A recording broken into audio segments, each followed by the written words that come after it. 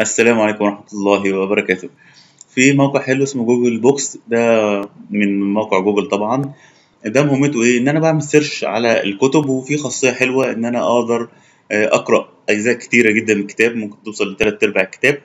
آه، وفي بعض الصفح مش موجودة بحيث لو أنت عايز تشتري بيديك خاصية إنك تشتري. لأن ممكن الكتاب ما بيدلش على محتواه. اسم الكتاب مش بيدل على محتواه. يعني ممكن يكون الكتاب مثلا BIM وتشتريه تلاقيه بيتكلم مثلا عن لبان بيم اللي كان زمان. أو بيتكلم عن محلات بيم اللي هي المحلات التركية. في كتب ال- الاسم مش بيدل على المحتوى أو بيدل على عكس المحتوى.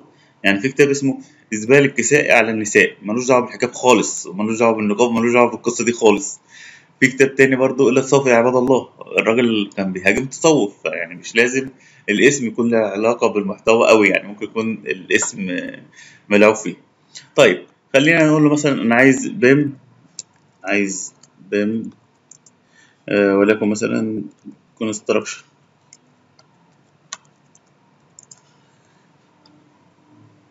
تمام؟ فهجيب لي كتاب آه، كتب هيت تمام؟ آه، الكتاب ده نقرته كويس جدا. الكتاب ده برضو BIM manager كويس.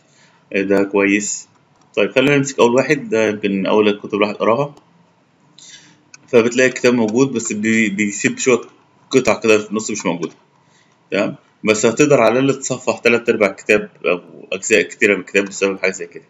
وتاخد نظرة هل يستحق إن أنت تشتريه ولا لأ. عايز تشتريه فبتقول له أنا عايز نسخة مطبوعة عايز آه، تعمل search تاني عايز تقدر تدور على أي كلمة في الكتاب شوف هل هو فعلا في الكلام اللي أنت عايزه ولا لأ.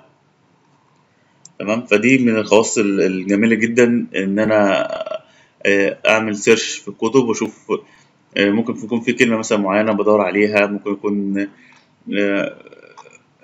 عايز أعرف كتاب هل هو يستاهل الفلوس ولا هو حشو على الفاضي؟ لأن في بعض الكتب بيبقى مساحته كبيرة بس في الآخر بتاخد تلات أربع صفح منه كويسين.